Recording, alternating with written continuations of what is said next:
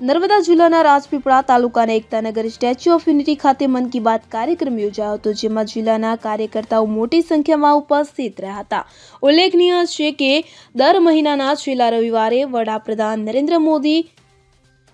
મન કી બાત કાર્યક્રમના માધ્યમથી દેશવાસીઓને સંબોધન કરતા હોય છે આ કાર્યક્રમ દરમિયાન વિવિધ મુદ્દાઓ પર ચર્ચા કરવામાં આવે છે ત્યારે ટાયર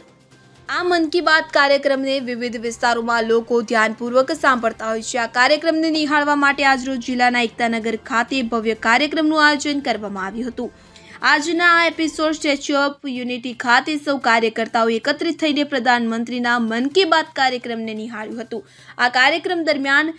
પ્રધાનમંત્રીએ ખાસ કરીને ખાદીના કપડાનો ઉપયોગ કરવા ઉપર ભાર મૂક્યો તો સાથે જ હાલ મારી માટી મારો દેશ કાર્યક્રમ કરવામાં આવ્યો ને ગુજરાત રાજ્યના અંબાજી મંદિરે ગબ્બરના પહાડ પર જે મૂર્તિઓ વિશે પણ જણાવ્યું હતું તે ઉપરાંત અનેક મુદ્દાઓ પર પ્રધાનમંત્રી નરેન્દ્ર મોદીએ ચર્ચા કરી હતી આ કાર્યક્રમ દરમિયાન સાંસદ ગીતાબેન રાઠવા ધારાસભ્ય ડોક્ટર દર્શનાબેન દેશમુખ, જિલ્લા ભારતીય જનતા પાર્ટીના પ્રમુખ ઘનશ્યામભાઈ પટેલ, જિલ્લા પંચાયત પ્રમુખ